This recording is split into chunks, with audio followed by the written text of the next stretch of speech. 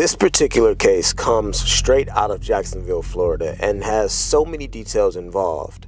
And the evidence that was placed on display at trial in this case was beyond damning and difficult to listen to.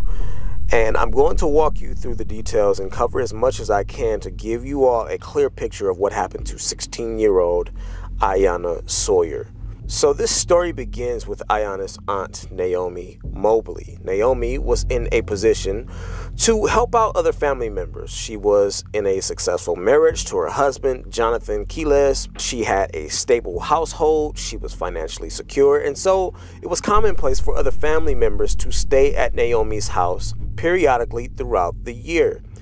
Two people in particular that would stay over often at the Mobley home were Iyana Sawyer and her sister, who, for the sake of anonymity, is only ever referred to as SS in this case. Repeatedly throughout the trial, she is only ever referred to as SS, and while multiple witnesses and persons of interest appeared on camera throughout this trial, Iyana's sister, SS, was never shown. Again, they wanted to protect her identity considering the harshness and disgusting nature of this case, and I also believe that she was underage at the time of this trial. Now, that's not confirmed, that's just what I believe. But because the authorities, family, and investigators decided to try and keep the identity of SS a secret, I will also do my part in trying to protect this young lady. So I too will only refer to Iyana's sister as SS in this video. So when you hear it, you'll know that's who I am referring to. Okay, so we have Iyana and her sister staying with their aunt Naomi. And you know how it is when you begin to get older. You tend to want to grow up faster than you should, right?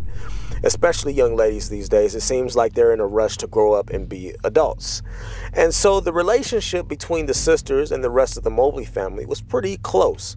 And when you're close to someone, you can usually tell when they're not acting like themselves or when something isn't quite right with them.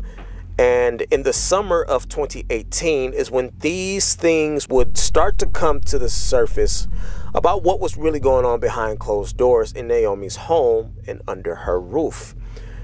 The family would come to learn that 16 year old Iyana, who's been acting strange lately, is pregnant.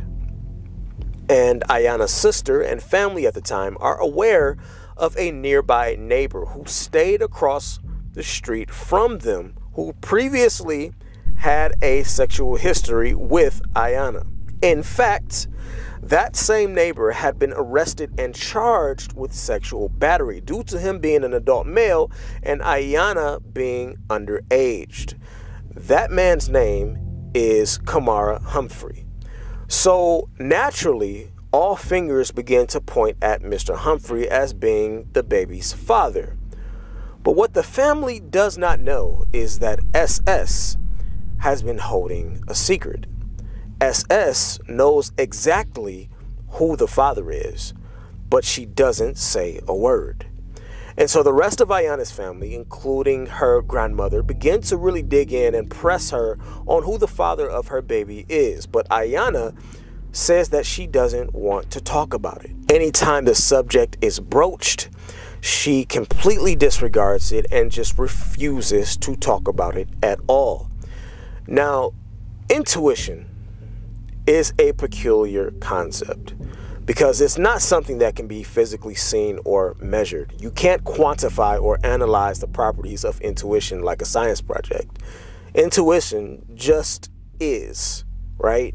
And if we looked up the exact definition of intuition, it would read as the ability to understand something immediately without the need for conscious reasoning which, when you think about it, in theory is a powerful, thought provoking concept. It's like a superpower, or at the very least, a sixth sense. And it is another one of Iyana's aunties, whose name is Jametta Mobley, who develops that intuition about Iyana and the mystery father, and she activates detective mode. Now, for all the women listening, You all know that when it comes to figuring something out and uncovering secrets, you all are some of the best unpaid freelance detectives in the game. There is nothing like a woman who has a scent that something isn't right. She turns into a hound dog and she is going to get to the bottom of whatever it is that is going on.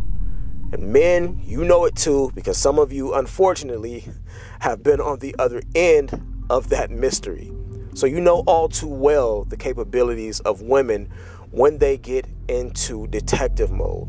So this auntie goes into detective mode and she starts investigating and paying close attention to her sister Naomi's household and what's going on because Iyana is not forthcoming with information. In fact, she's starting to close herself off from the family entirely in regards to her baby. But Jametta Mobley has this intuition, and she is about to drop a bombshell on the entire family that will change the Mobley household forever. You said that uh, on direct examination, you didn't like the way he looked at her. Yes. And you described that as, you know, hey, I know what a man looks like, a looks at a woman like, right? Yes. Okay. Outside of that, you know, I just didn't like the way he looked at her. Did you ever actually see anything inappropriate between IS and Jonathan Quiles? Outside of his looks, no. Okay. Did you ever see um, any behavior between the two of them that would indicate that there was any sort of sexual relationship going on? The way he looked at her, my opinion, yes. I did. Let me look at you. That's how he looked at her. Now let's look at you. How you doing, sir? He didn't look at her like a how you doing, sir. He looked at her like a man look at a woman. Okay. And outside of that, you never saw anything that would indicate any sort of sexual relationship between the two of them? No. Okay. And you were never confided in by IS or anybody else about there ever being any such sexual relationship between IS and Jonathan Quiles? We had our own, we had our own, uh, I didn't speak to IS, no. But, you know, me and my sisters had our own separate, yes. Okay. Outside of the accusations that you s- talked about, that, you know, between your sisters and you, there was no other information that you ever received that there was a sexual relationship going on between IS and Jonathan Quiles, correct? Correct. Okay. You talked about the accusation itself. You said you were the one who made the accusation originally. Is that true? Yes. Okay. And you said that you did that when you found out that she was pregnant. Yes.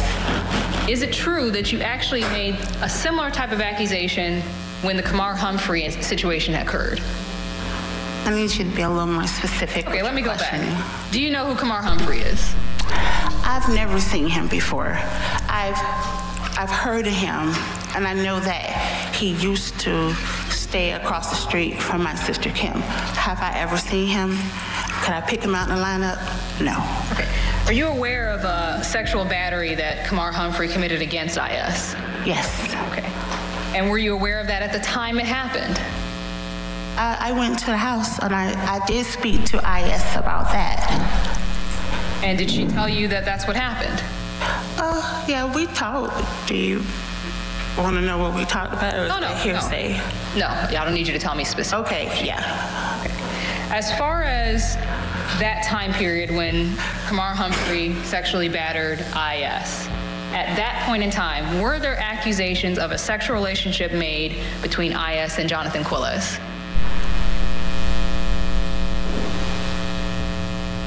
Before that time, Around that time period, yes. around that time, I'm going to say between the sisters.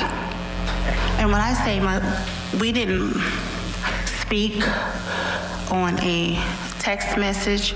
I've always, if every time I see anything, I, I've always said something. But Okay. As far as that, those accusations that were from earlier on in 2018,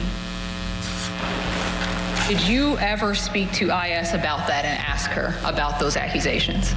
for which, which one?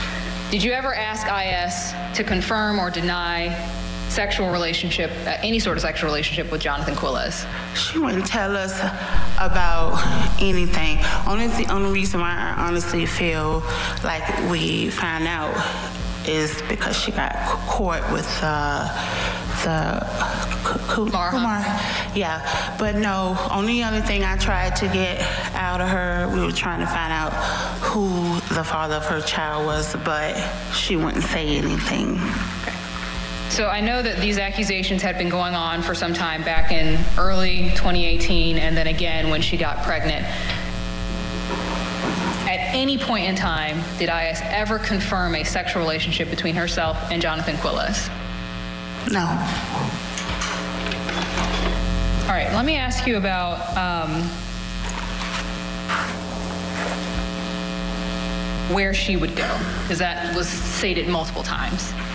You named three places originally. You named three places. You named Kimberly Mobley's house, her own house. Yes. You named Jonathan and Naomi's house. Yes. And you said that uh, she had stayed at her grandma's over the summer. Yes. Then later you said it's not just those three places, it's actually, you know, other family members too. 'cause sometimes she stay at Paula's house, correct? We would go to, we would go over there. Is that, we will go, would she go to Paula House? Yes. Okay. Yes. So, and other family members' houses as well. She would go over to their homes as well. It's normally when we had functions, but for the most part, she was either home, like doing, like staying the night, stay at my house, the night at my house.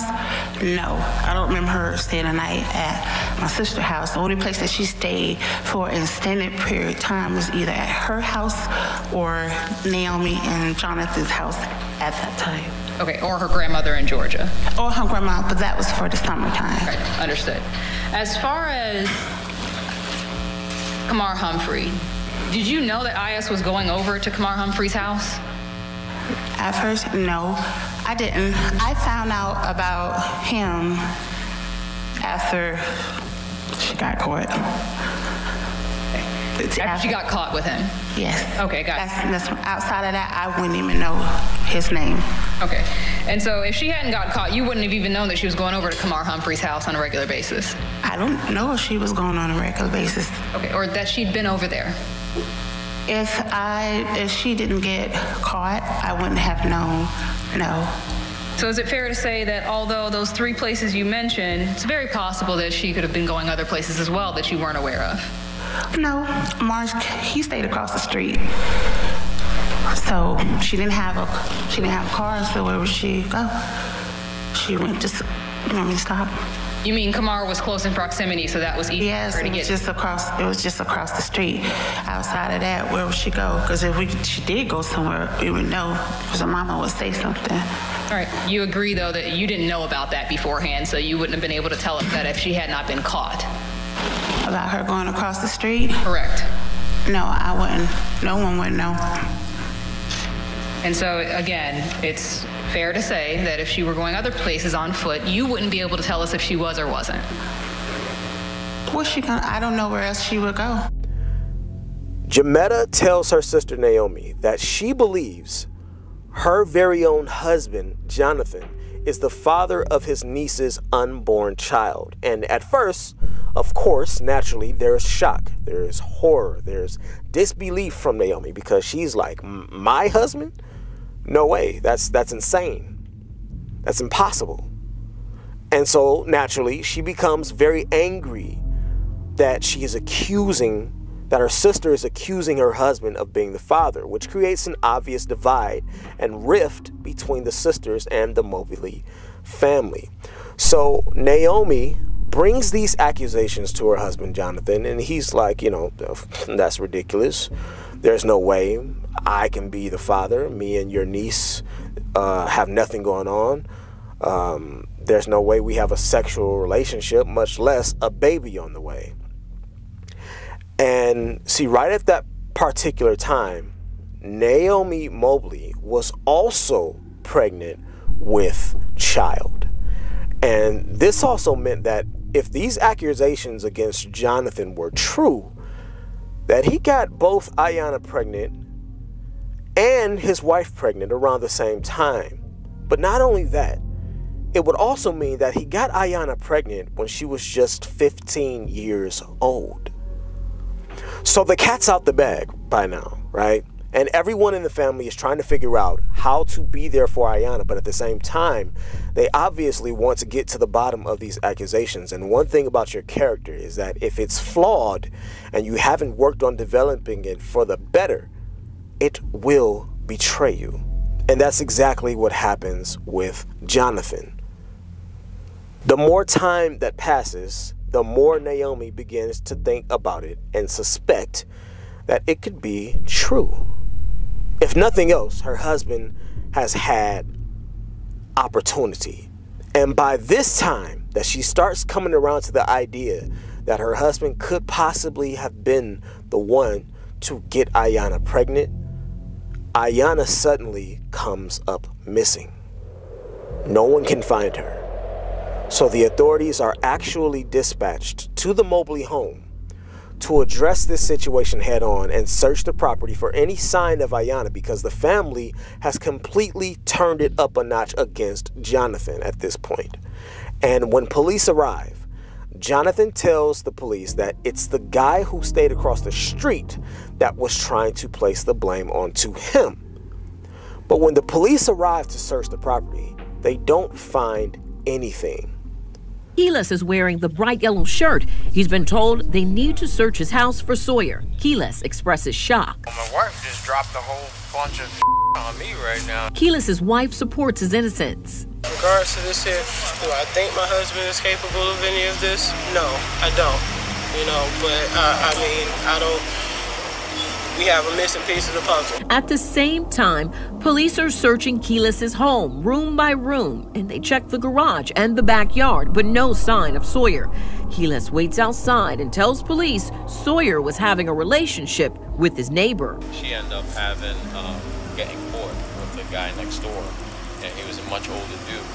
And um, they came up with uh, the whole idea that I was the one that turned them out for her. But they don't leave empty handed because Iyana's mother, Kimberly Mobley, arrives at the scene as well. And she has something for the police. She hands them a laptop computer and instructs them on where to find Iyana's personal diary entries. This turns out to be the break in the case that they needed. Because in those archives of messages and diary notes, they discover the inappropriate messages between Iyana and Jonathan. Sawyer's mother is also at the scene, and her mother gives police a laptop filled with Sawyer's private journal entries. She explains how to find the entries. I went there in the recycler bin right here. The recycle bin? Uh-huh. And then she also got other notes over here. Weeks later, those journal entries would reveal an inappropriate relationship so, between Sawyer and Quiles. Police take Quiles in for questioning. Now they know it's all true. And now Naomi has to come around to the idea that her own husband has gotten her very own niece pregnant and that he's an abuser and an elite level scumbag.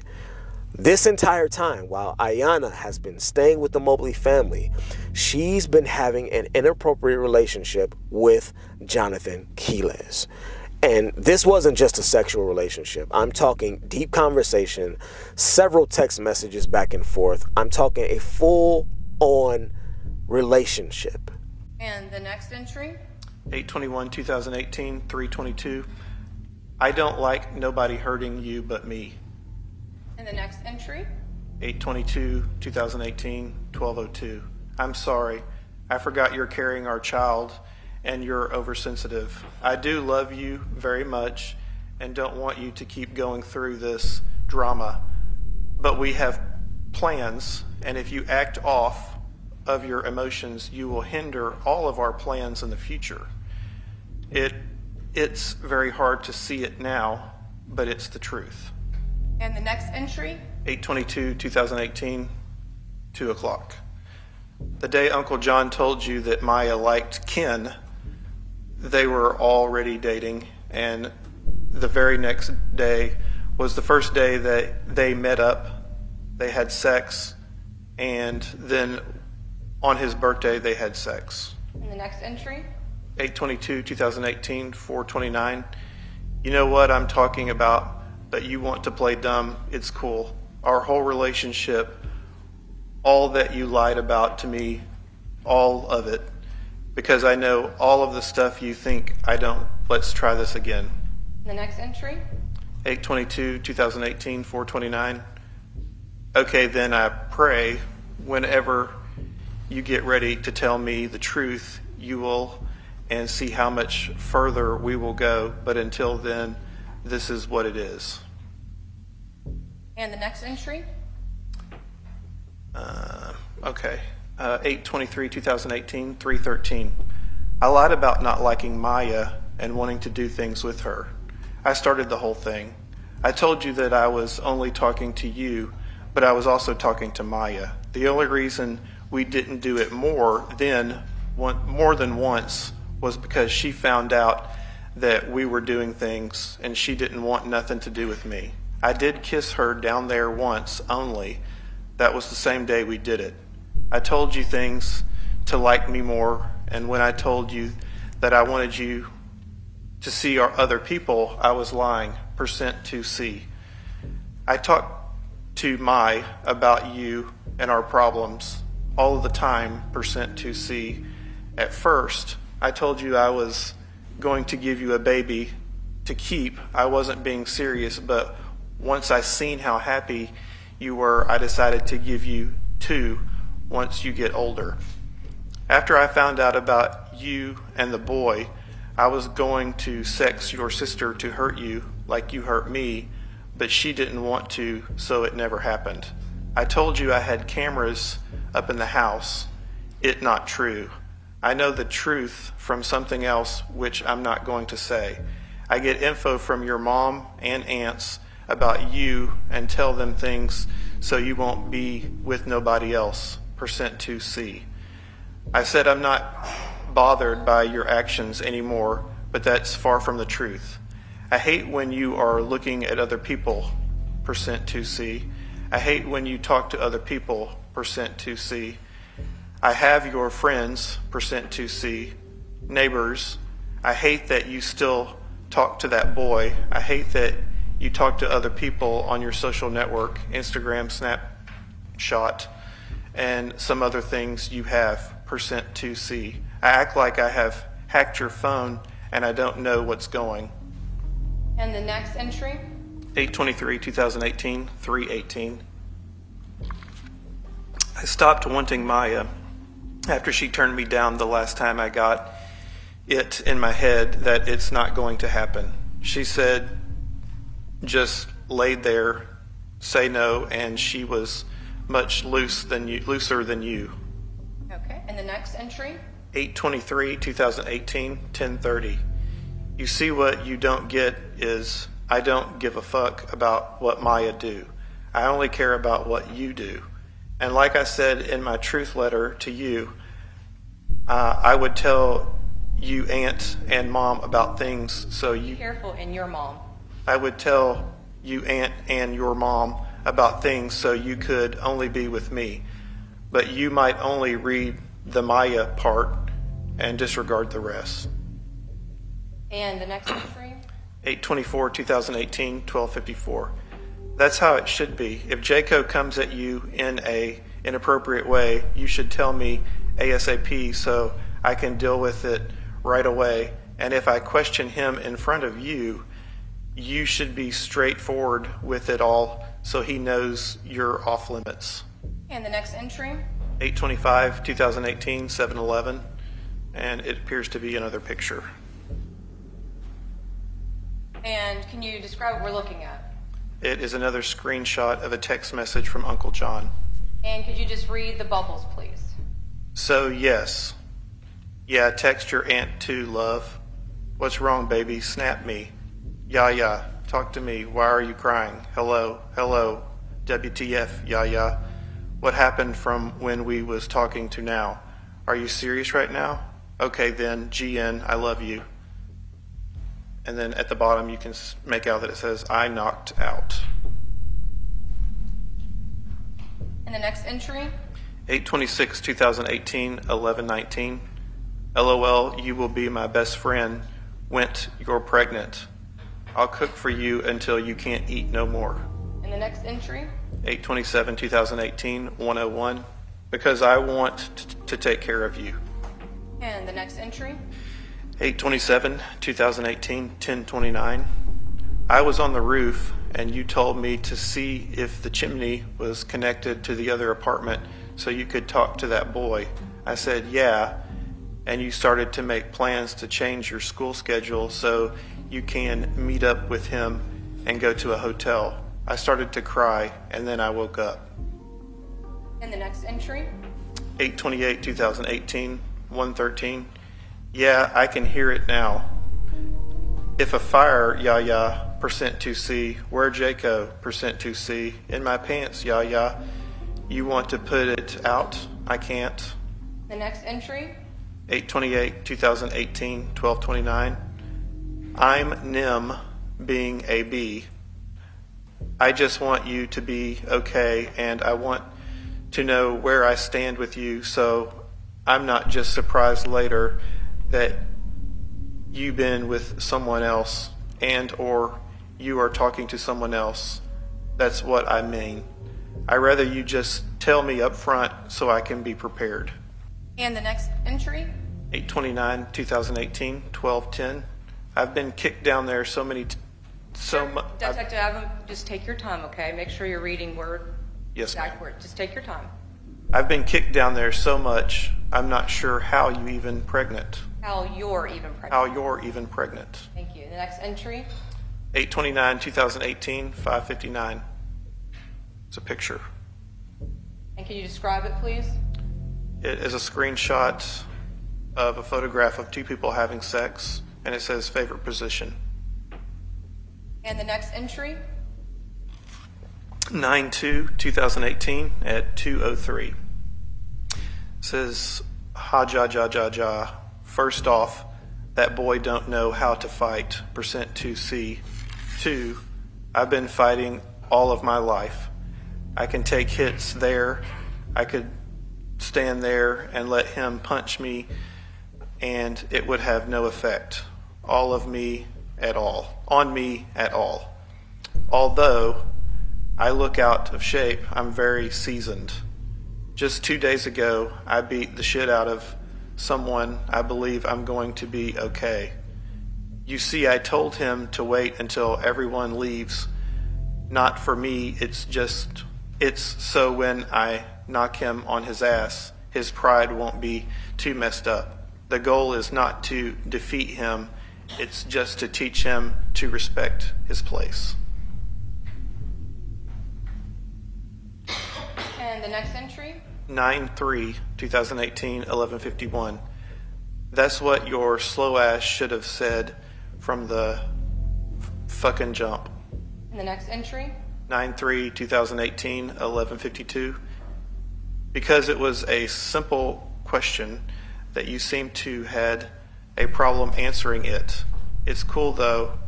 I'm not going to bother you none. I'll talk to you tomorrow gn And the next entry? 9 3 2018 1152 oh so you're not going to fuck him. You'll just wait for me. That's what uh, you meant. And the next entry? 9 4 2018 927 i'm very aggravated right now. I'm going to hit you later. The next entry? 9 7 2018 1221 yeah so i need you to be like 100% with me at all times. I'm just so in love with you i'll kill you and cry. And the next entry? 9 17 2018 134 no it seems like you the one that wants that but you don't want to hurt my feelings so you rather start up your bullshit again so i can leave you look i don't have time for all of your little games. You like to play like i'm stupid and don't see what the fuck is going on. I trust you until you start lying to me again. Just like how all of a sudden you back playing your Sims game full time again to the point you don't have time for me no more. I won't be surprised that you don't telk the next. You don't, and just the N word? Yes, it's the N word. Okay, go ahead. The same thing you tell me just so you do fuck up. Like the name you keep saying when we fucking, when you about to come and catch yourself. So now everything is coming out, and it turns out that not only has Jonathan been taking advantage of and abusing Iyana, but he's also done the same to her sister, SS. And SS makes it known that she's known about their relationship the entire time, but she did not want to tell anyone because she wanted to protect her sister as well as preserve their sibling relationship. So she was caught between a wall and a hard place. So she kept it all a secret. She kept it all in. But everything would come to a head on December 19th of 2018.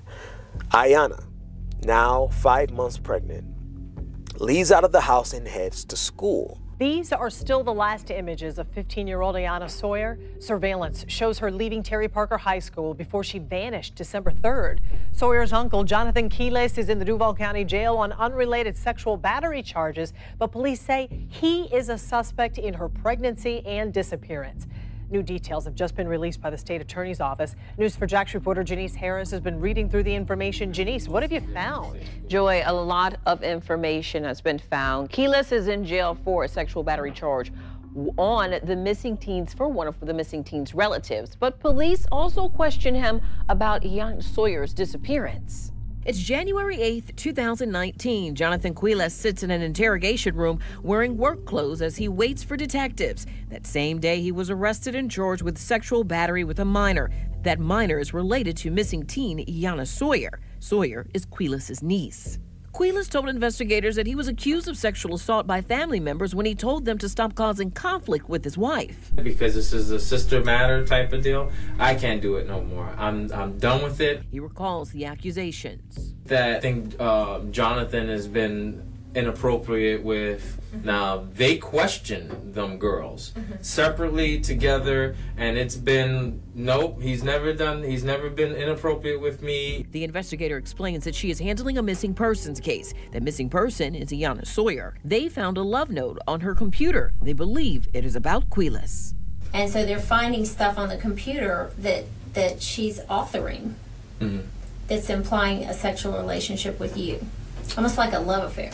The detectives tell Quiles they have also found his DNA, but it's not clear if it's tied to Sawyer or someone else. So there would be no reason to have any of your DNA. Nope.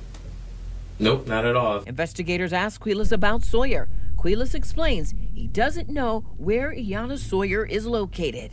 I have no idea where to find her. Um, she never told me anything about running away, and um, I, I, I, I can't. I don't know. I can't give you any information I don't have about her. Period.